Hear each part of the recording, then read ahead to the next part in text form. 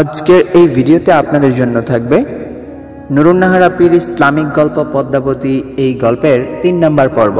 শুরু থেকে অবশ্যই শেষ পর্যন্ত দেখবেন।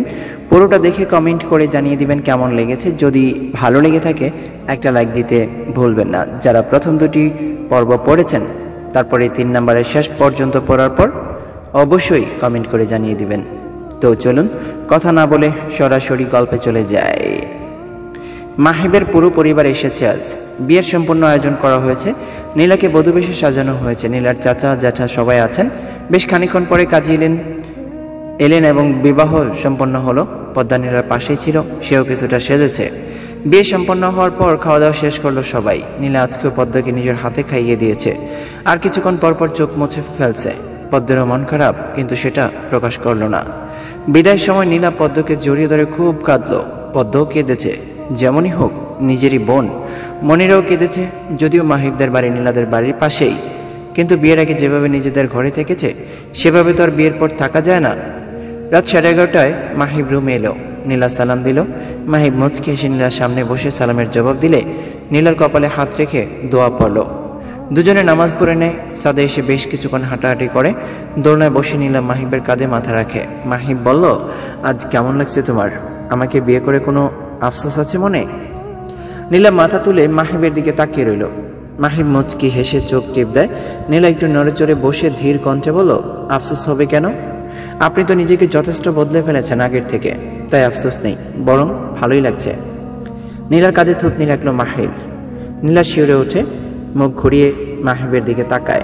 দুজনে চোখাচুকি হয়ে যায়। নীলাও চেয়ে চোখ সরিয়ে নিতে পারে না। এই মানুষটার চোখে এত মায়া, নীলা জানতই না। প্রথম দিনে এতটা ভালো লাগা তৈরি হয়েছে যে এখন মাহিবকে ছাড়া নিজেকেই কল্পনা করতে পারছে না। নীলার জীবনের প্রথম পুরুষ মাহিব, তাই হয়তো এতটা ভালো লাগা তৈরি হয়ে গেছে। আর তাছাড়া বিয়ের মতো পবিত্র বন্ধনে আবদ্ধ হয়েছে দুজন। ভালোবাসা তো আল্লাহর সৃষ্টি করে দেন। হঠাৎ নীলার খুব লজ্জা লাগতে শুরু করল। মাথা নিচু করে নেয়, মাহিবের দীর্ঘ নিঃশ্বাস নীলার ঘাড়ে পড়ায়, বুকের ভিতর ঢেউ তুলছে। নীলা সরে আসতে চাইলে মাহিব খুব শক্ত করে জড়িয়ে ধরে নীলাকে।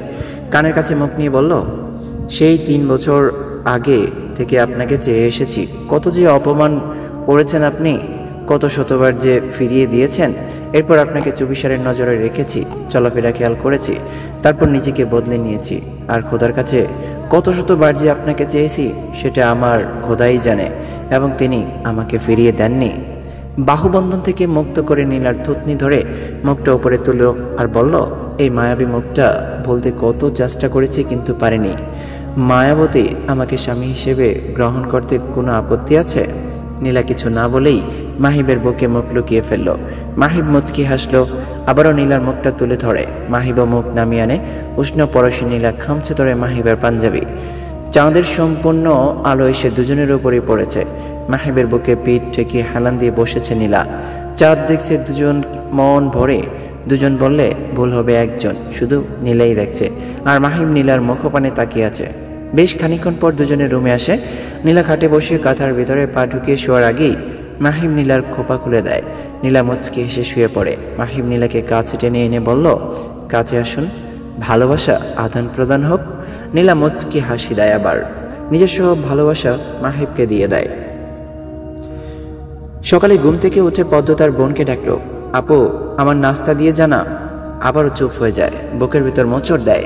ভুলেই গিয়েছিল, তার আপু নেই এখানে, চলে গেছে শ্বশুর বাড়ি। এমন সময় পদ্মের ফোন এলো, হাতে নিয়ে দেখল সৌরভ কল করেছে। বেশ বিরক্ত হলো পদ্ম, কয়েকদিন ধরেই জ্বালিয়ে মারছে এই ছেলে। রুম ডেটের জন্য উঠে পড়ে লেগেছে। কিন্তু পদ্মের কেন যেন এইসব ভালো লাগছে না। আগে নিজেই বলেছে রুম ডেটের কথা সৌরভকে। বেশ এক্সাইটেড ছিল পদ্ম। সৌরভকে সবটা দিয়েই ভালোবাসবে। তাই তো সেদিন সৌরভের সাথে হোটেল রুমে চলে গিয়েছিল, কিন্তু অনাকাঙ্ক্ষিত কারণে খুব তাড়াতাড়ি ফিরতে হয়েছে। সেদিন মন খারাপ হলেও আজ ভালো লাগছে পদ্মের, ভালোই হয়েছে তাড়াতাড়ি ফিরে এসেছে। পদ্মের ভাবনায় সেদ পড়ল ফোনের রিংটন শুনে। বিরক্তি এক সাইডে রেখে ফোন রিসিভ করল পদ্ম। ওপাশ থেকে সৌরভের বৃষ্টি ভাষায় শোনা গেল, পদ্ম বিষম খেলো। প্রথমে ভাবলো অন্য কাউকে বলছে, কিন্তু সৌরভ যখন বলল, কিরে, কথা বলছিস না কেন? তোকে লাস্ট টাইম বলছি, আজ আমার সাথে তন্মর ফ্ল্যাটে যাবি, নইলে আমি এমন কিছু করব যে তুই মুখ দেখাতে পারবি না। পদ্ম কাপা কাপা সরে বলল, কি করবে তুমি? আর এইভাবে তুই টাকারই, আর এমন স্ল্যাং ল্যাঙ্গুয়েজ ইউজ করছ কেন? করলে তখন দেখবি, এটা লাস্ট টাইম বলছি কিন্তু আমি। যা ইচ্ছে করো, আমি তোমার এসবে নেই। পদ্ম ফোন কেটে দিল। নীলা চলে যাবার পর নিজেকে খুব অসহায় লাগে পদ্মের। যখন বিয়ে ঠিক হয়েছিল, কত খুশি ছিল পদ্ম। তার বোনের প্যান প্যানানে শুনতে হবে না, নিজের মতো চলতে পারবে। আর এখন খুব একা একা লাগে। পদ্ম উঠে রান্না করে গেল। মনিরা ফুপি স্কুলে চলে গেছেন। পদ্ম একাই আছে বাসায়। ফ্রিজে পাউরুটি আর ডিম ডিম আছে। চুলে আগুন ধরিয়ে ফ্রাই প্যানে তেল ছেড়ে ডিম বেজে নিল।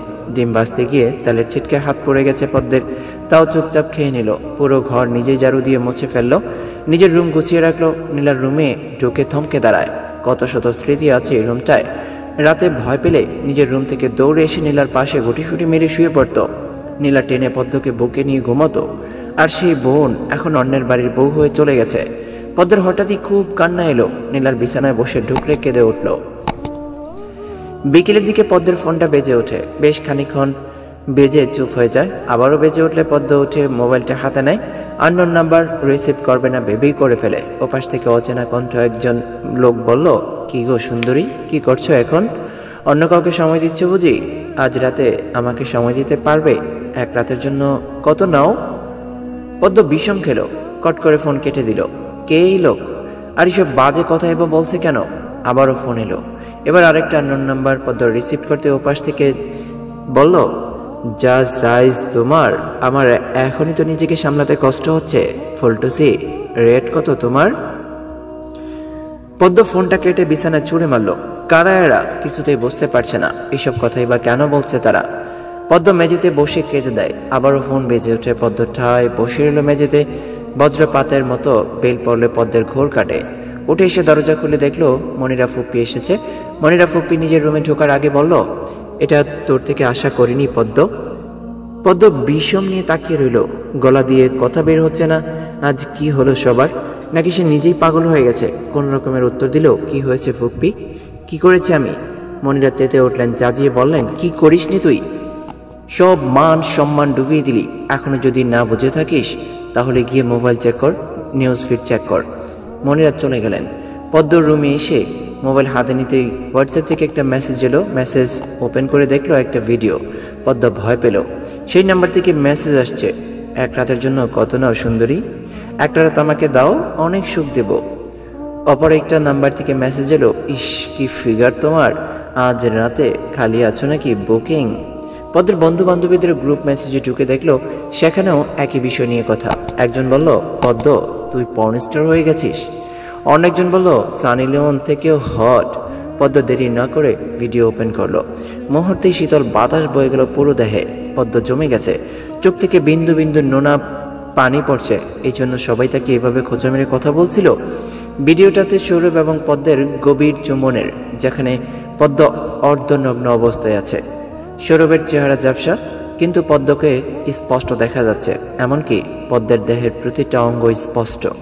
তাছাড়া নোটপিকও ভাইরাল হয়েছে। ভয় ভয় ফেসবুকে লগ ইন করল পদ্ম।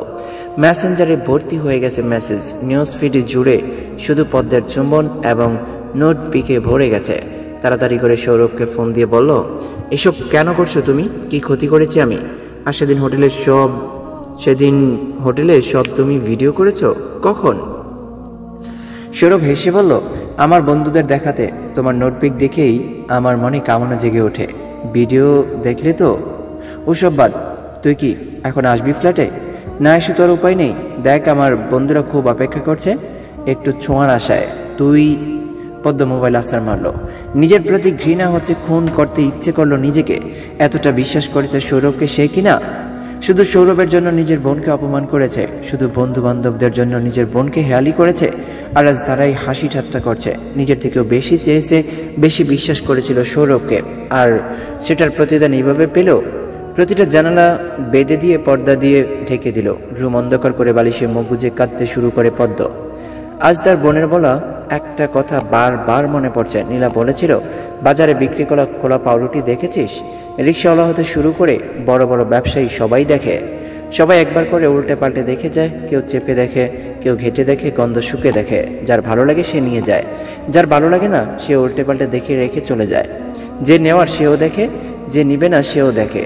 আজ পদ্মের নিজেকে খোলা পাউরুটি মনে হচ্ছে। হ্যাঁ তার বোন সত্যি বলেছে, নিজের প্রতি ঘৃণা এতটাই বাড়ছে। মাহিব বাসায় আসতে আসতে নিলেই সালাম দিল।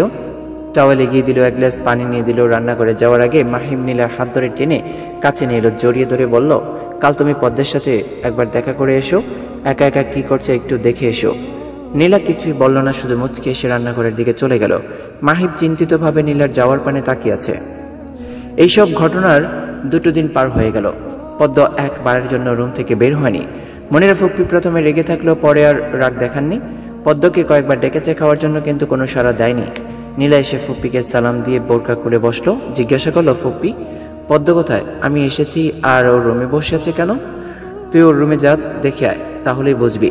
নীলা ভয় ভয় পেল, তার বোনটার কি হয়েছে? বুকটা দুরু দুরু করছে, পা যেন চলছেই না। কোন রকমে হেঁটে গেল পদ্মের রুমে, ভিতরে ঢুকে একটা গন্ধ নাকে আসলো।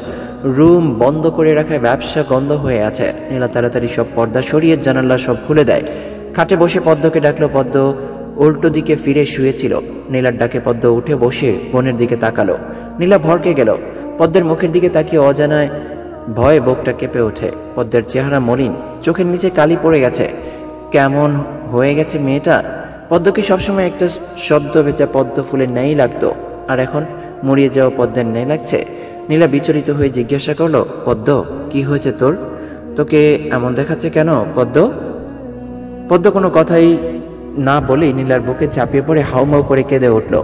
নীলা ভয় আরও জমে গেছে। পদ্মকে আগলে ধরে বলল, কি হয়েছে বোন? বল না আমায়। কেউ কিছু বলেছে? পদ্ম মোবাইল বের করে ভিডিও ওপেন করে নীলাকে দিল। নীলা ভিডিওর অল্প কিছু দেখেই এক চিৎকার করে উঠল, পদ্ম! বলেই পদ্ম মাথা নিচু করে কেঁদেই যাচ্ছে।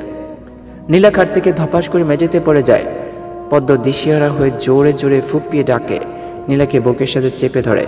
মাহিব বাজার নিয়ে? সবে মাত্র নীলাদের বাড়িতে ঢুকেছে।